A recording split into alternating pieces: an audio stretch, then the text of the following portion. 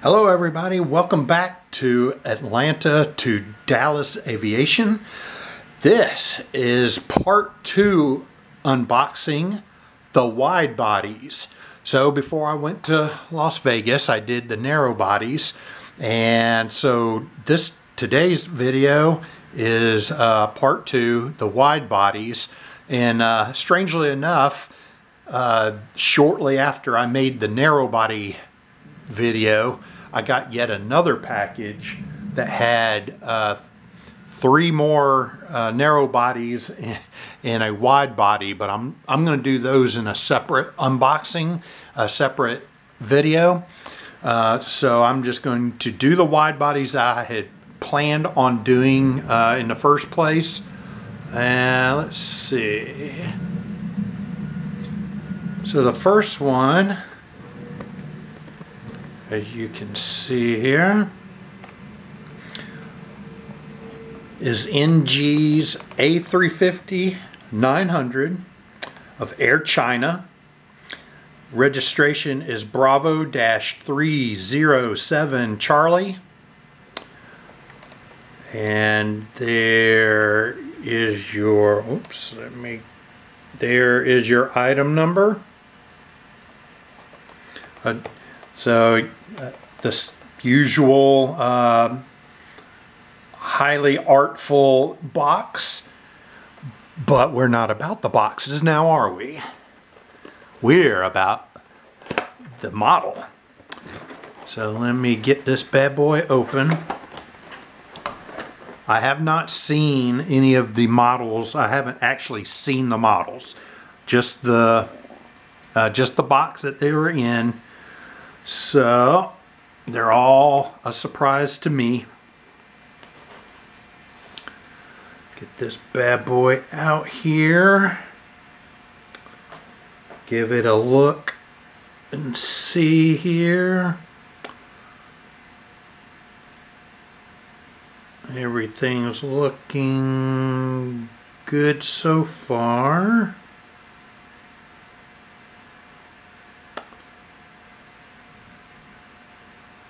All right, wonderful. So let's put this bad boy out here.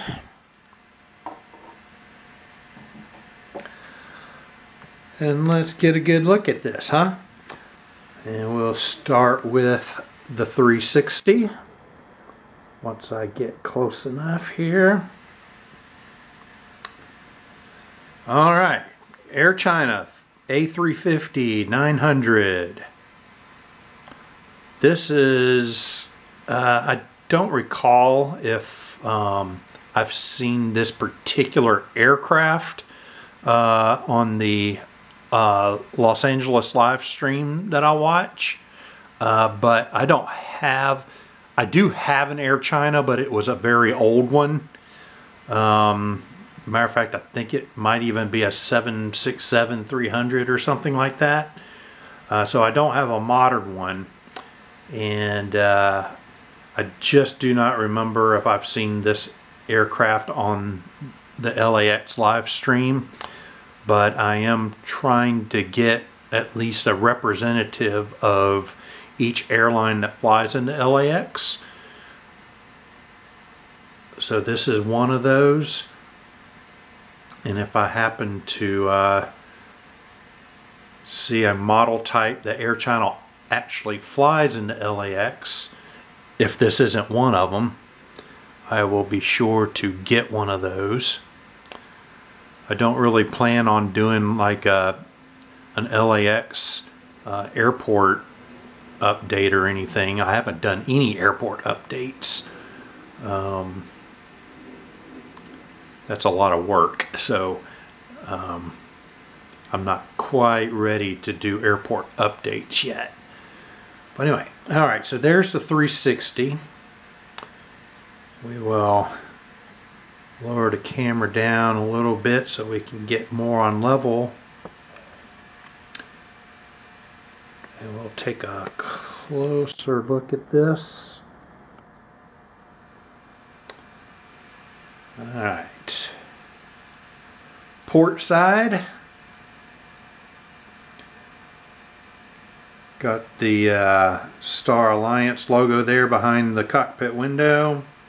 L1 door. Uh, the China flag with Air China in small, pretty small font there. And then what is, we assume, says Air China in Chinese.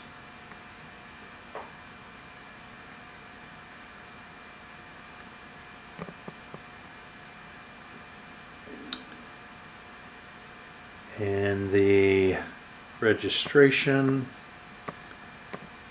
And then finally the bird on the very tall tail there.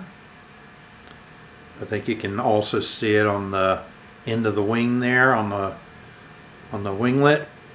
It's not very focused but uh, it's you can tell it's there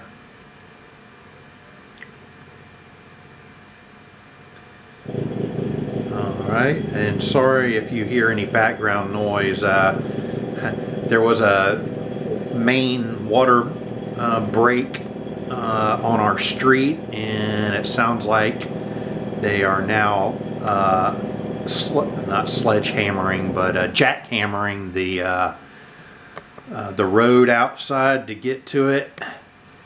So I apologize if you hear too much of that but anyway, so that's the Air China A350. We will put him aside. We got a lot to go through and my camera only does 30 only does 30 minutes at a time, so I really don't want to have to try to try to glue uh, videos together. All right. So next we have, ooh, go out, go out. All right, a Lockheed L1011 200 TriStar, British Airways in the uh, Landor scheme, and this is the special. Uh, I, I, don't think there's anything special about this uh, about the livery itself. It's just a special uh, release from NG uh, uh, to celebrate Her Majesty Elizabeth II, who uh, who passed away. Very nice box there. Uh, this registration is Golf Dash Bravo Hotel Bravo Romeo. Here is the item number. And let's get into this. Got two, two TriStars uh, on this video today.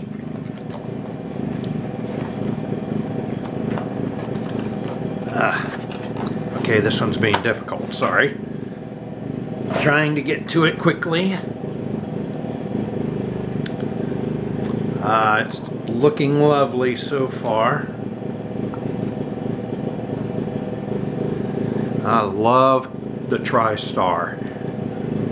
I absolutely love this plane. And honestly, I love uh, the Landor livery. I almost wish British Airways had stuck with it. Um, well, here's something interesting. My, I'll show it to you. Uh, we got some scratches on the uh, on the wing surface, but other than that, we look like we're pretty good. All right, so there we go. British Airways L1011 dash 200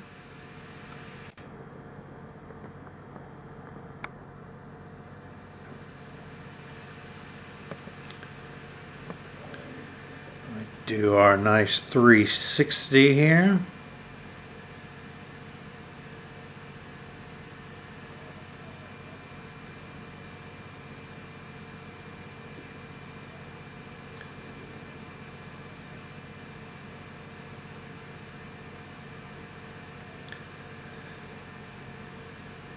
Wow, I just really always thought the Landor livery was so classy. And I like the, it's funny, in the lighting that I have here, it almost looks like that top part is white rather than uh, the kind of grayish that it actually is.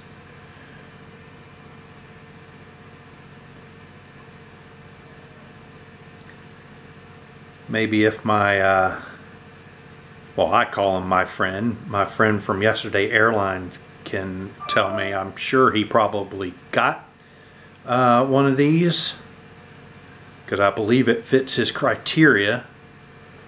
Maybe he can tell me if uh, for some weird reason the light gray top on this particular aircraft isn't the same as on other Landors because it really does look white. It doesn't look as white as the Air China that I just opened, but it's really light. All right. So let's get this down a little bit to level here so we can do the close-up.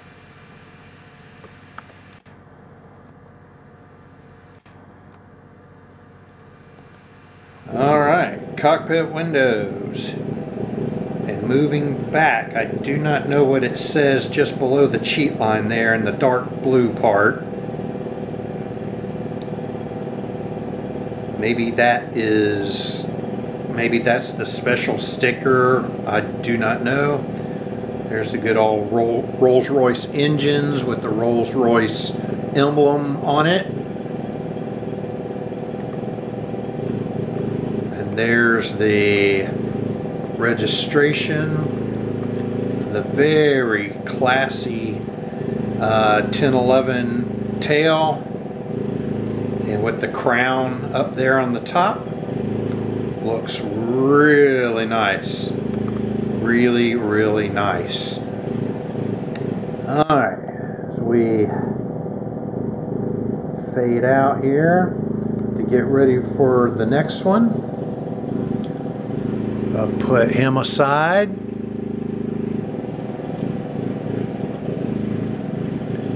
Boy. uh, I just knew that they were going to start doing that jackhammering. Oh, you know what? I think I had told you my, uh, so here, I think you can see it. You can see the scratches. Uh, let me get a little pointer here in case you don't really see it. The scratches are right here. But you know what? I'm not too worried about that. Um, it, I mean, doesn't it give it a little bit more realism if there's a little bit of, I don't know, uh, weathering on it? I mean, now I don't necessarily want the uh, manufacturers to start putting out weathered looking models, but I, I'm not that upset that there's a scratch there. Um, it just makes it look like it's a little bit weathered, that's all. Uh, so it's not really that big a deal. Alright, so moving on to the next one. Uh, well, you know what? I started opening it and I forgot to uh, show you all the box. So sorry, the box is open. So we have the TWA L1011 200 TriStar. This is the final livery and it looks really sharp. I, other than the uh, double globe livery, I never was a fan of the double red stripe or whatever you call it, the double stripe or whatever livery. I never really liked that one, but I love this one. Um, it's it's too bad uh, it was short-lived, but anyway, so there you have that. Uh, the registration for this model is November 31029er. And there is your item number. Okay, now we can get uh, getting this out of the box.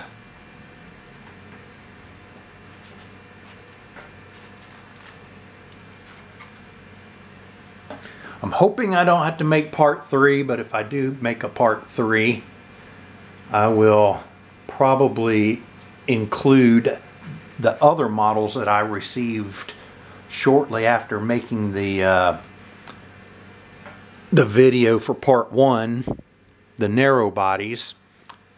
All right, so here we have our TWA.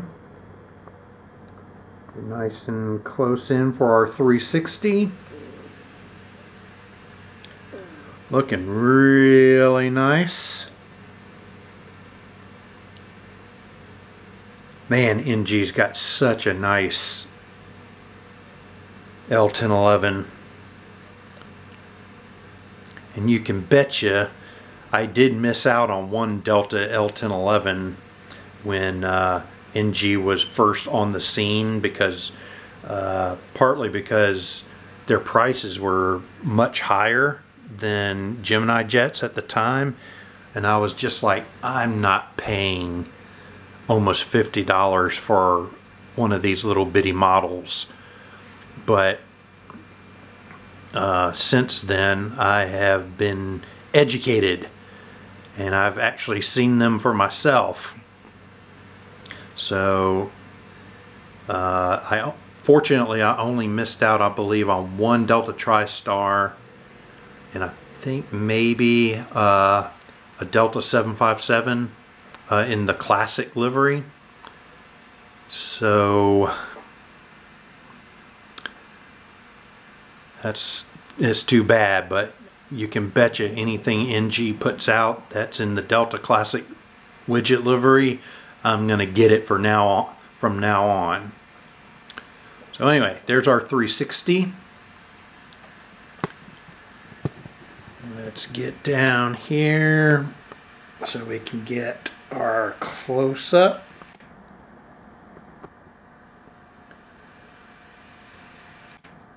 Alright, so starting at nearly perfect shaped nose. There's the golden globe, if you will. What a very nice font uh, that says Trans World instead of just TWA. That was nice. That was a nice ad. Again, the Rolls-Royce engines. And then TWA as it swoops as the cheat line swoops up and you get uh, TWA there, and get the red stripe, a very small little gold stripe, and a very dark blue uh, stripe just before you hit the hot part of the engine, uh, of the number two engine. So there you have the TWA L1011 looking very nice. All right, so we'll zoom back out on this. I got two more to do with less than 12 minutes to do it in. So,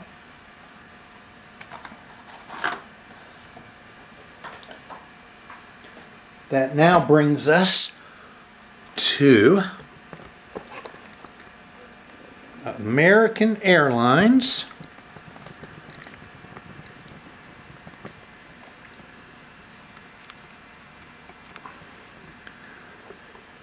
Seven eight seven eight Dreamliner for American Airlines. New mold, I believe this is the first release on this mold for NG. Uh, registration is November 880 Bravo Juliet. And there is your item number. And let's get into this one.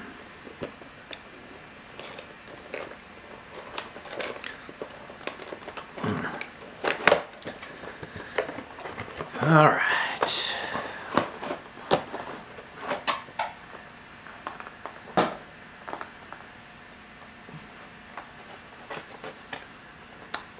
All right, looks really nice. I don't see any loose parts, so that's good.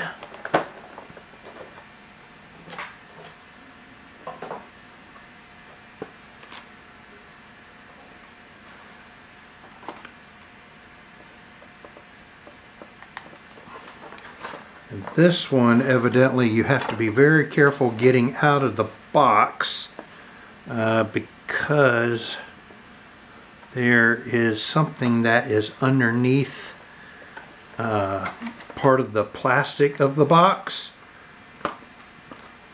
So I'm trying to get it out fairly quickly. Uh, yeah, looks like uh, it looks like the one on on one of the sides did break off. And it was already broken off and I do not see it would have been a itty really small piece anyway. Um, so I don't see it. Well kind of show you that. Um, another YouTuber already pointed this out on his. Uh, he got some more. Uh, he got more of this release and they came with everything intact but anyway so let's move, maneuver him into position here for the 360.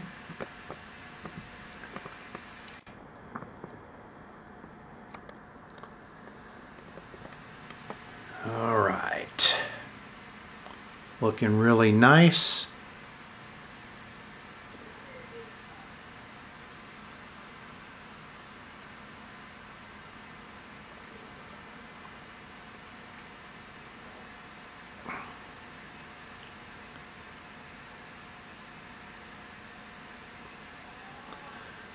Not a really big American airline fan, but I needed to get some I needed to get some to be able to do a diorama, an airport diorama, so I needed some uh, more modern ones. And this livery's kind of grown on me. I, I really do miss the bare metal uh, look.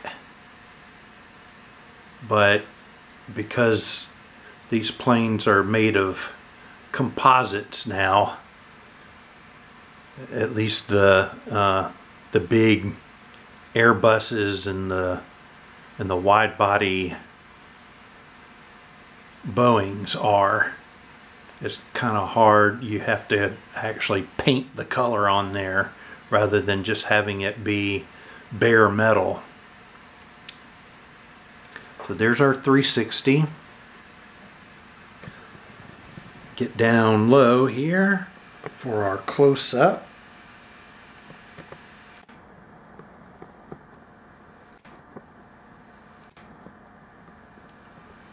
All right.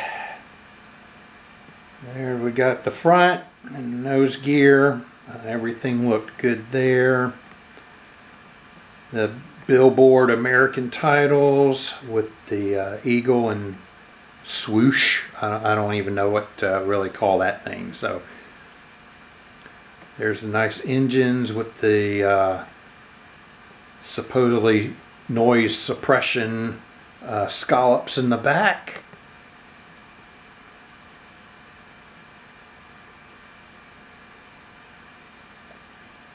There's the American flag and the registration along with the stylized flag tail on the back.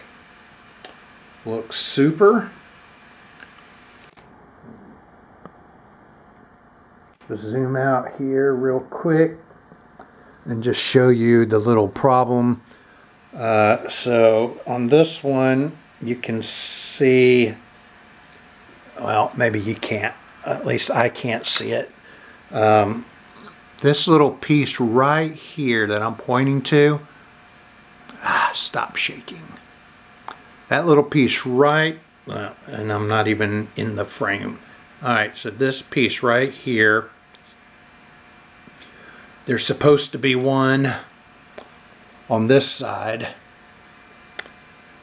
And what you and what you see instead is this little messed up little area right here where it got pulled off somehow.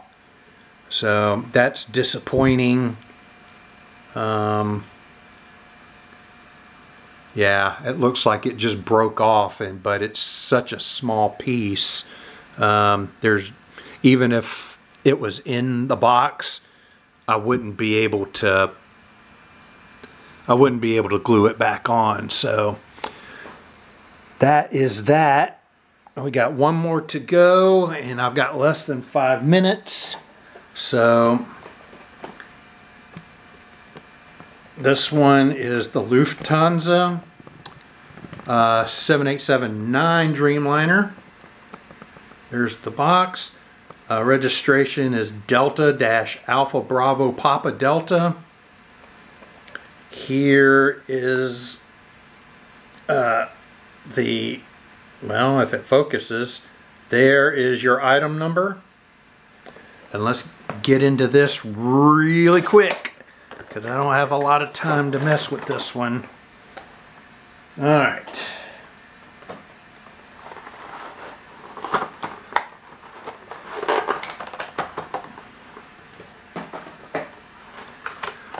So please forgive me if this uh, video ends before I'm finished uh, showing everything. Uh, I think I can get it in. So here we go. Let's move the American out of, out of here a little bit. Okay. All right, so the Lufthansa in the newest livery, uh, 787-9 Dreamliner. Just start our 360 here. This really would be easier if I had the turntable. I know, stop complaining about the turntable and just get one if you're going to get one. Anyway.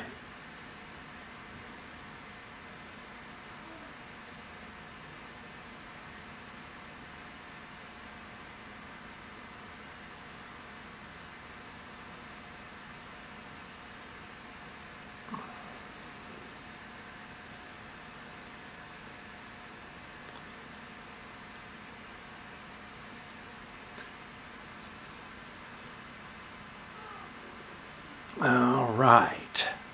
So there's the 360. Let's get down to level here.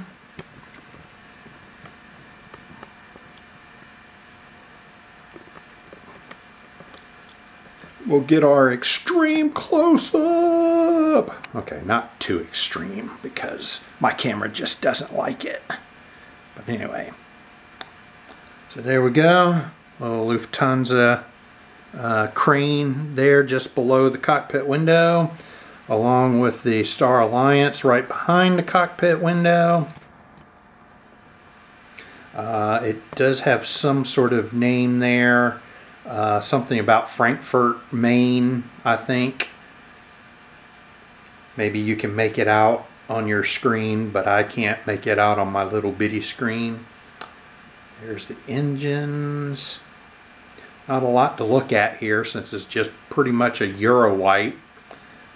Uh, there's your registration, your German German flag and European Union flag. And then there's your very dark blue tail with the colorless crane in circle on the back. All right, so that takes care of part two, the wide bodies. Uh, I will be doing another unboxing video soon. Like I said, I got four other models that I got right after I got these.